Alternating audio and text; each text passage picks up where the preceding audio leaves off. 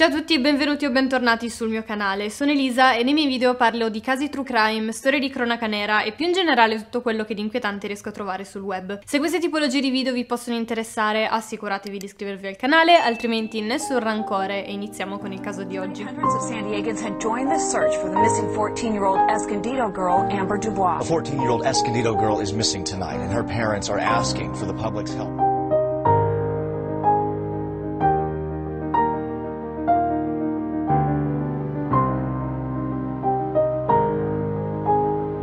Per la storia di oggi ci troviamo a San Diego, vicino a una città di circa 150.000 abitanti di nome Escondido. Qui vivevano i coniugi Dubois insieme alla loro figlia di 14 anni, Amber. Amber non era come le altre ragazzine, le altre ragazzine insomma della sua età, nel senso che aveva degli interessi e degli hobby un po' diciamo fuori dal comune. Al contrario dei suoi coetanei, Amber infatti cercava di evitare un pochino le situazioni molto rumorose, molto accalcate, con tanta gente, uscite con tanti amici, feste, cose del genere. Preferiva uscire con poche persone, pochi amici però selezionati. Aveva anche un grande animo artistico, le piaceva molto disegnare e scrivere, frequentava il liceo della sua scuola con grande passione ed edizione. Aveva un sacco di piani per il suo futuro, voleva andare all'università, voleva iscriversi in un'università in una grande città dell'America, laurearsi, trovare un lavoro, fare tanti soldi e comprarsi una casa come penso sia diciamo l'obiettivo di un sacco di altri ragazzini. Purtroppo nel 2009 i signori Dubois decisero di separarsi, si lasciarono, rimasero però in ottimi rapporti e anche Amber continuò a frequentare tranquillamente e molto di frequente sia sua mamma che suo padre. Il 13 febbraio del 2009 era un venerdì mattina come tanti. Amber stava uscendo per andare a scuola, aveva salutato sua mamma sulla soglia della loro casa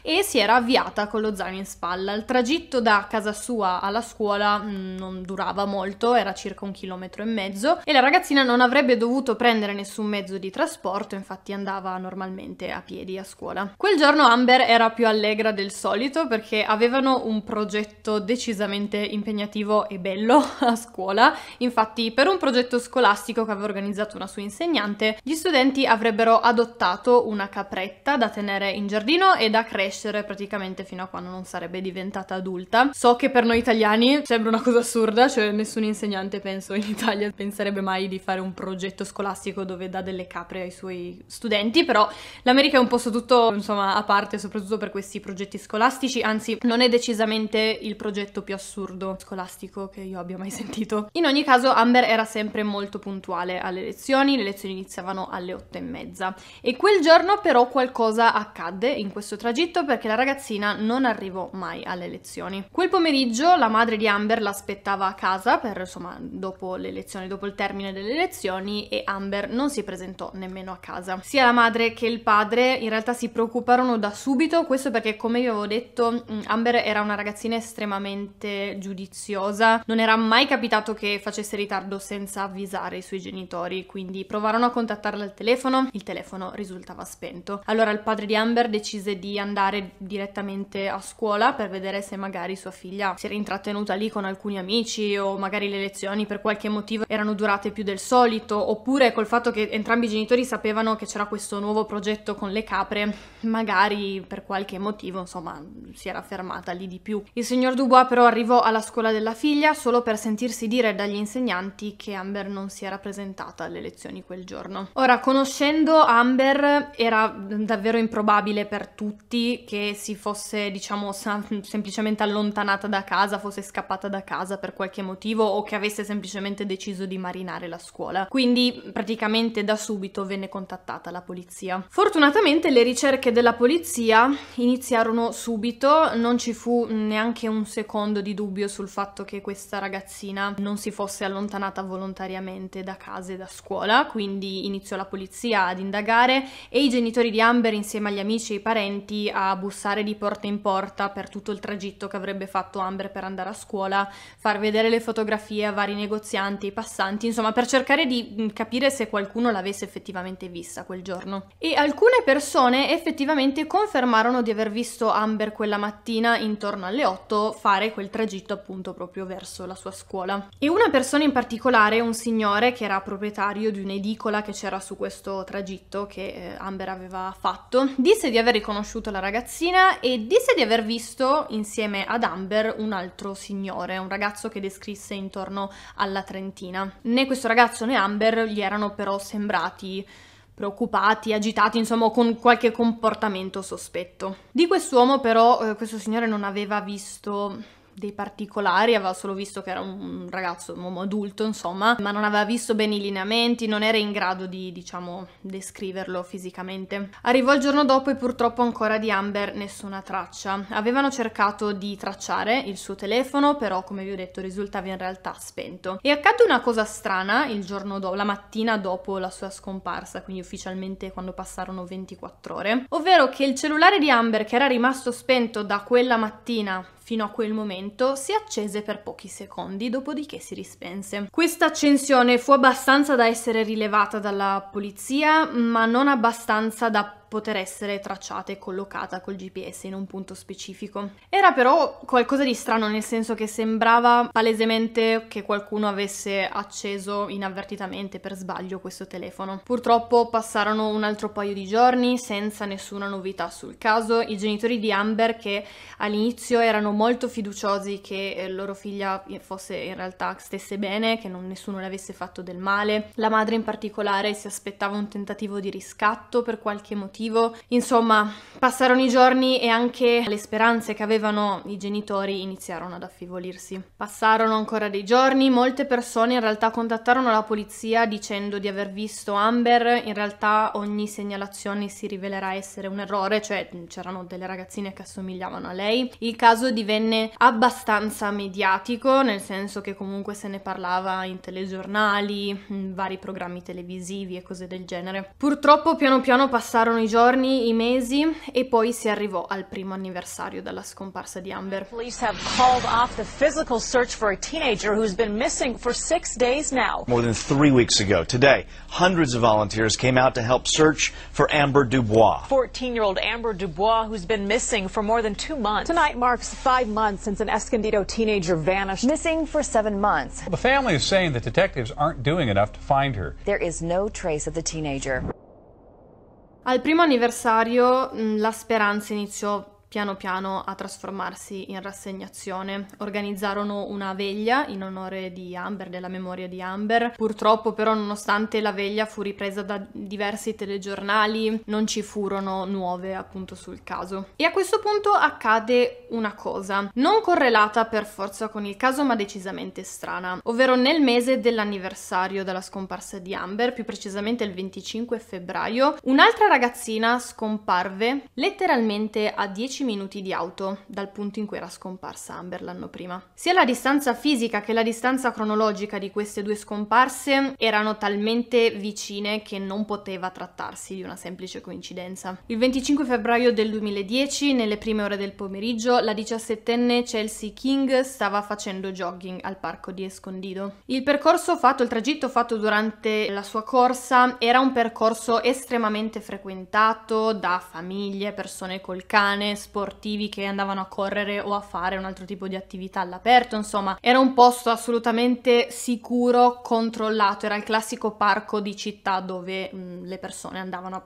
trascorrere il tempo all'aperto. E non solo, era un percorso che Chelsea aveva fatto un sacco di altre volte, era una ragazza molto sportiva e andava a correre praticamente una volta a settimana e andava quasi sempre lì. Chelsea era una ragazza molto popolare al suo liceo, molto sportiva, come vi ho detto faceva parte della squadra di pallavolo del liceo, era anche molto intelligente, aveva fatto un sacco di test d'ingresso in varie università dell'America perché appunto si stava avvicinando il momento di scegliere di, di diplomarsi al liceo di andare all'università ed era stata accettata da ogni singola università per la quale aveva fatto richiesta. Anche lei, esattamente come Amber, avevano davanti un futuro lungo e luminoso. Chelsea, quel giorno, come immagino abbiate già capito, non tornò mai a casa. I suoi genitori, che la stavano aspettando, anche loro si preoccuparono subito per Chelsea perché non era una di quelle ragazze che faceva tardi e non avvisava. Il padre in particolare andò subito a controllare al parco, insomma, dove sapeva che sua figlia figlia sarebbe andata a correre. Non la trovò da nessuna parte, fece un sacco di giri e non riuscì ad individuarla. La chiamò,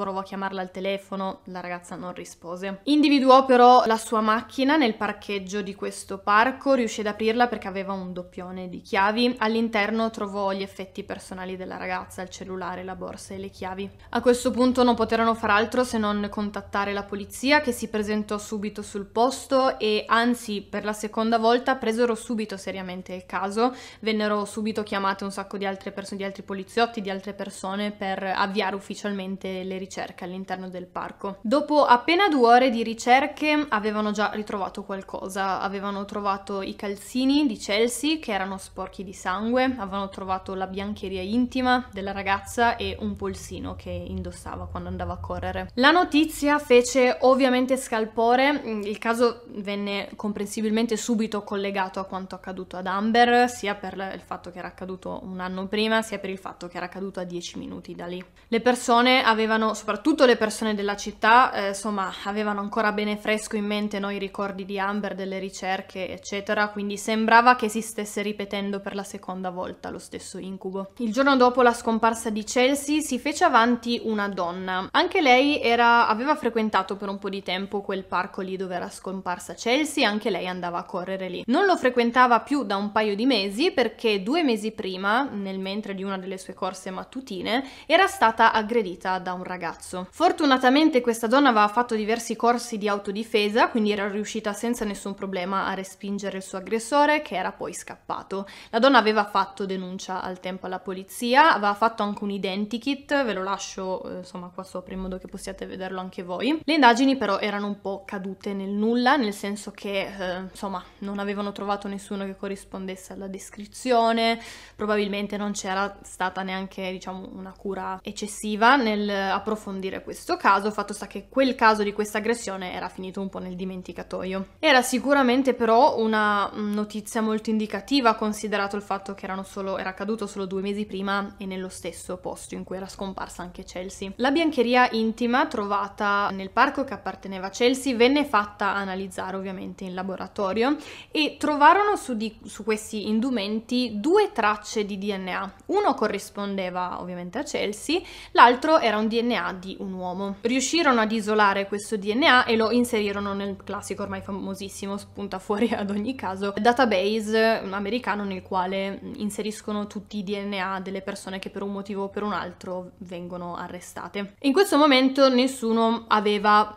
nessun tipo di eh, speranza del fatto che questo DNA potesse portare effettivamente a un nome. E invece contro ogni probabilità effettivamente saltò un match. E non solo questo match era al 100% quindi non c'era nessun dubbio del fatto che quel DNA corrispondesse a questa persona qui, ma il ragazzo che era spuntato fuori era letteralmente identico all'identikit fatto dalla donna che era stata aggredita due mesi prima. Si trattava di John Albert Gardner, un ragazzo di 30 anni, originario di una città chiamata Calver City, a circa due ore di auto da Escondio. Qualche anno prima John si era trasferito insieme a sua mamma e al compagno di sua mamma in una casa che praticamente affacciava proprio su questo parco. Sua madre, Katie, era un'infermiera e lavorava da sempre ad un ospedale ospedale psichiatrico della zona. E questa donna notò da praticamente subito che in suo figlio c'era qualcosa che non andava. Fin da quando era piccolissimo, infatti, John aveva dei comportamenti decisamente inquietanti, sembrava essere in qualche modo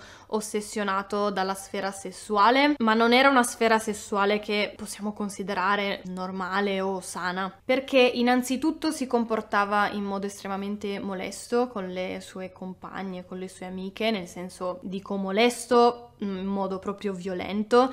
E in più fin da piccolissimo, tipo da quando avevo una decina d'anni, era interessato in una maniera in cui non bisogna, nessuno dovrebbe essere interessato, da bambine molto piccole, tipo 3-4 anni. Katie, come vi dicevo, notò da subito che in suo figlio c'era qualcosa che non andava, lavorando in, nell'ambito, insomma, medico, psichiatrico, fece subito valutare suo figlio e lo fece seguire da degli esperti fin da quando era piccolissimo. A 10 anni John venne ricoverato per 10 giorni e questa cosa mi, non lo so, mi manda davvero in confusione perché lo psichiatra che lo seguiva da quando era piccolissimo aveva descritto John come potenzialmente molto pericoloso per la comunità. Aveva scritto nei fascicoli che eh, John non soffriva di nessun disturbo, di nessun tipo, che era semplicemente una persona cattiva, l'aveva scritto così. Tra parentesi, non so se è il modo in cui si dovrebbe esprimere o in cui dovrebbe pensare uno psichiatra. Non lo vedo molto utile da un punto di vista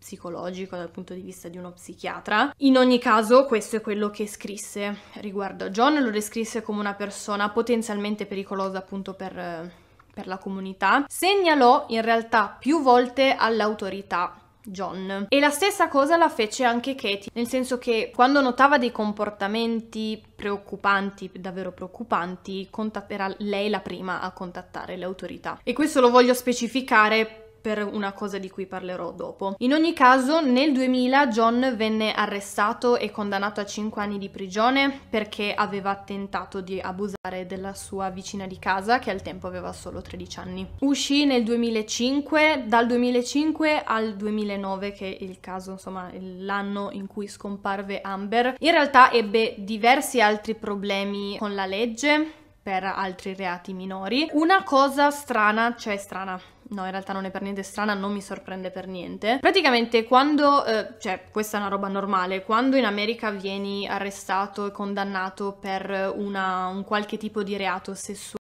scatta una sorta di segnalazione nei tuoi confronti e non puoi più fare tutta una serie di cose, tipo non puoi più prendere armi, non puoi più avere una pistola, non puoi più stare vicino a delle scuole, ad esempio, se sono reati nei confronti di minore, non puoi vivere eh, insieme a dei minori, ad esempio, cioè non, non puoi andare a vivere a casa di qualcuno che abbia un figlio piccolo, tutte delle cose del genere. Solo che, come al solito, e non è una roba solo americana, purtroppo vengono fatte tutta una serie di segnalazioni, eccetera, però di fatto nessuno ti controlla. Infatti, in questo periodo dove John non si sarebbe dovuto avvicinare a scuole, eccetera, eccetera, lui si comportò come se nulla fosse e nessuno segnalò la cosa perché di fatto nessuno della polizia lo controllava effettivamente. E questo purtroppo succede ovunque in altre, anche in situazioni diverse da queste, quindi non è una cosa americana, però è una cosa che io quando la sento, non lo so, mi viene da perdere un po' di fiducia nelle istituzioni. In ogni caso, la polizia contattò la madre di John, Katie, che li informò del fatto che suo figlio il 25 febbraio non si era presentato a casa fino a tarda notte ed era arrivato a casa completamente coperto di fango. Quindi ovviamente con questa informazione e con il DNA, che era ovviamente la prova più schiacciante, la polizia lo arrestò. John però subito disse di non c'entrare assolutamente niente col caso, nonostante ci fosse il suo DNA sull'indumento di questa ragazza. Continuò a negare ogni tipo di coinvolgimento, anche dopo che la signora, quella che vi dicevo prima, che era andata a correre, era stata aggredita ed era riuscita a respingere l'aggressore e poi aveva fatto anche l'identikit, lo identificò, fecero la classica identificazione che si vede nei film dove lo mettono in una stanza insieme ad altre persone,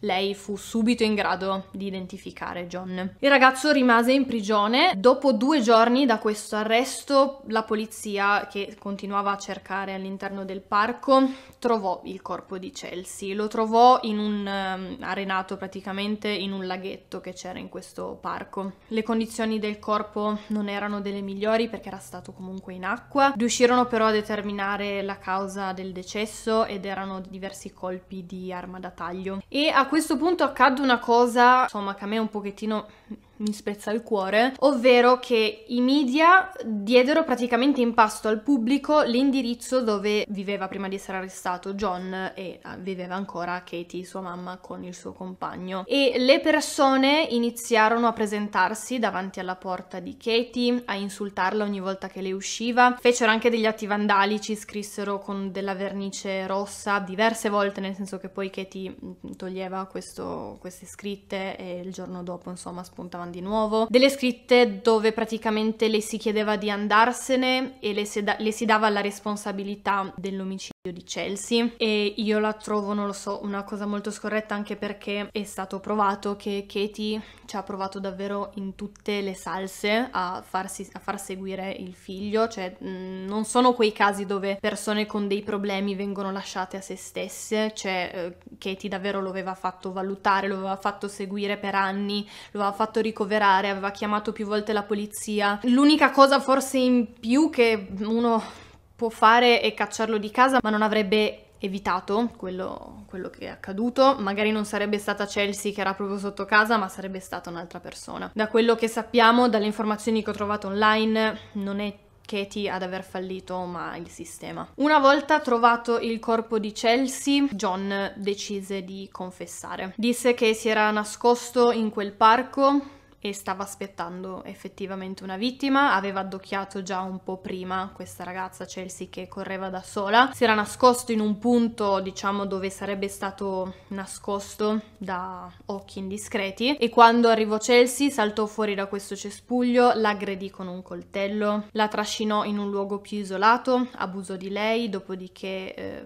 abbandonò i vestiti dove poi verranno ritrovati dalla polizia e gettò il suo corpo nel lago. Come vi dicevo, eh, già tutti prima di eh, trovare un colpevole erano convinti del fatto che la scomparsa di Chelsea e quella dell'anno prima di Amber fossero assolutamente collegate. Quindi chiesero ovviamente a John se avesse qualcosa da dire sul caso di Amber. All'inizio John negò, la polizia pressò e John finalmente cedette anche sul caso dell'anno prima. Diede delle indicazioni, indicò un boschetto, diciamo in un'area periferica di Escondido, lì sottoterra troveranno i resti di Amber. John disse di averla avvicinata mentre lei stava andando a scuola e infatti quel, quel signore che aveva l'edicola che vide Amber parlare con un uomo, un ragazzo, vide proprio John, purtroppo non lo vide in faccia, quindi non, non riuscì a dare nessun tipo di descrizione. John aveva cercato di convincerla ad entrare nella sua auto, Amber non c'era cascata, quindi aveva continuato a camminare, lui però l'aveva seguita con l'auto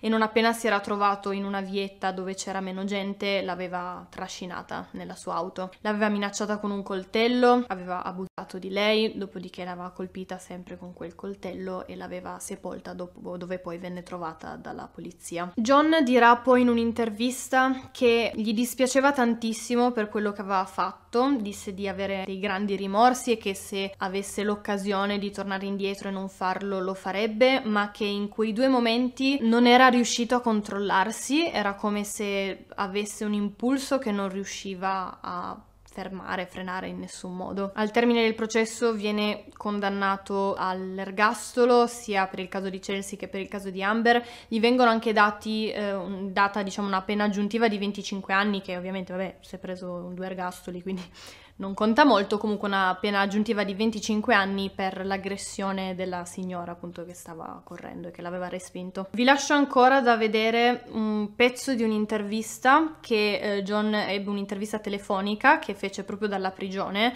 con una giornalista in modo che possiate sentirlo parlare, possiate fare insomma le vostre valutazioni. I mean, I was aware of doing and I could not stop myself. I was in a major rage and pissed off and pissed off at my whole life and everybody that's hurt me and blew up and I hurt the wrong people. I hate myself. I really do. There is no there is no taking back what I did and if I could, yes I would. I called all these mental health places saying I'm losing control, I need help. They told me, "Oh, too bad." As soon as they found out I was a sex offender. Now, if I'm denied help, am I fully to blame? Well, for my actions, hell yeah. I understand. But could it have been prevented? Yeah, it could have. Hey, John. Yeah. Are there other victims? Uh, I could try.